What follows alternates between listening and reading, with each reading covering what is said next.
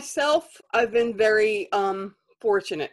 Um, I have not had as much. I have not had as much problems like a lot of my friends have in their facilities, um, in the sense of some of the challenges. My facility is good.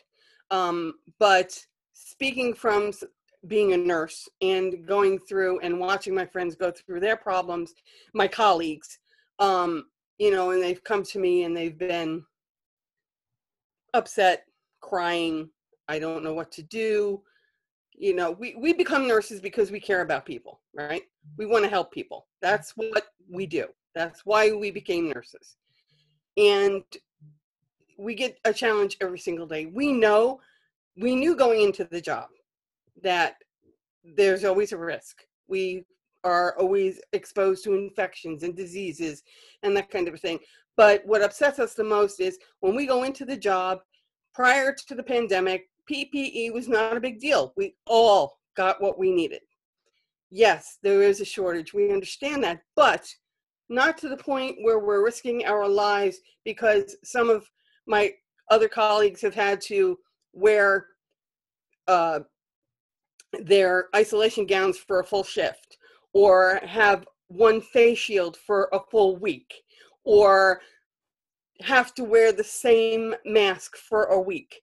That's not safe. That's just not safe. So one of the yes. Well, you know what? Tell me this. Um, have you seen a lot of COVID patients, you personally? I have seen some, yes. And what has that experience been like for you? Their condition, um, you know, how you help them, just what what is that like? Well, they're patients, just like any other patient. You know, we do what we can.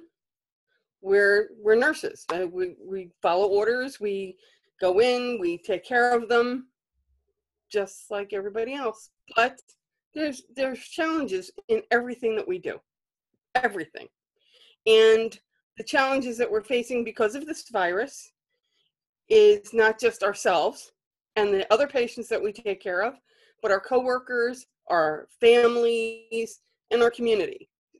We don't know. We really don't know that much about this virus do we? No.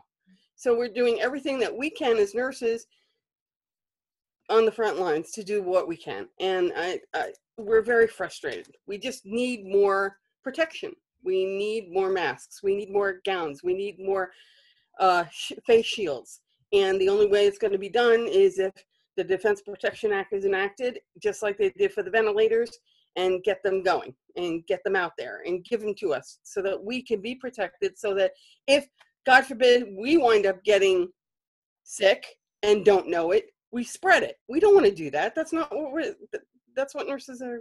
We don't want to do that. Sure. So here you are. You just got off a 12 hour shift. How long have you been a nurse, Liz? 18 years.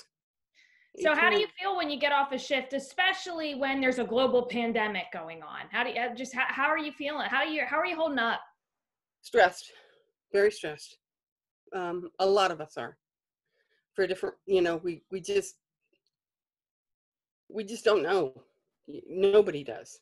And we just do what we can and we trudge through. We love what we do. We love our patients. That's why we do what we do.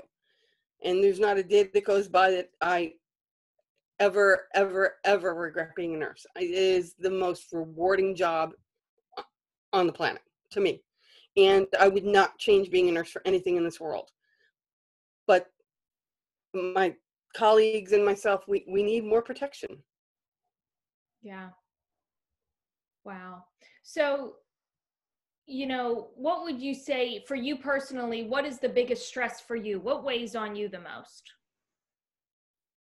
Whether or not I'm going to bring the virus home to my family, uh, whether or not I'm going to infect somebody else eh, that I work with it's it's scary. It's a very frightening thing. And all we want is to be protected. That's all, nothing more. So, kind of, I want you to really give me the detail because for us at home, you know, you say PPE, we all now know what that means, but trust me, four weeks ago, nobody knew what that meant. So, what exactly do you need to feel safe right now when you're at work? I need to know that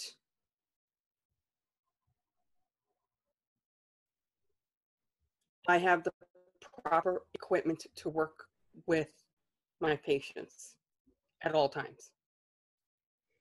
So, Every that- nurse, every nurse in the Tampa Bay area, in every hospital needs to have that protection to continue. It's not just me, it's everybody.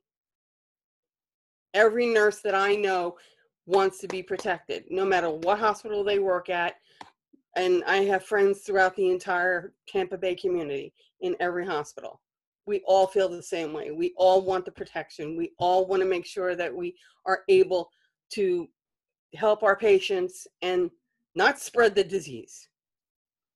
Mhm. Now, But the only way that's going to happen is if we get more equipment without having to worry about it with the def- and and have that Defense Protection Act enacted so that it can happen.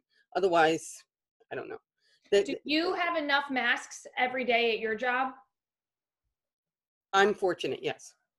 Mhm. So you've been okay when you need an N95, you have had one. I'm fortunate. Yeah. Not everybody I know is. Is there any equipment that you personally haven't had that you wish you had?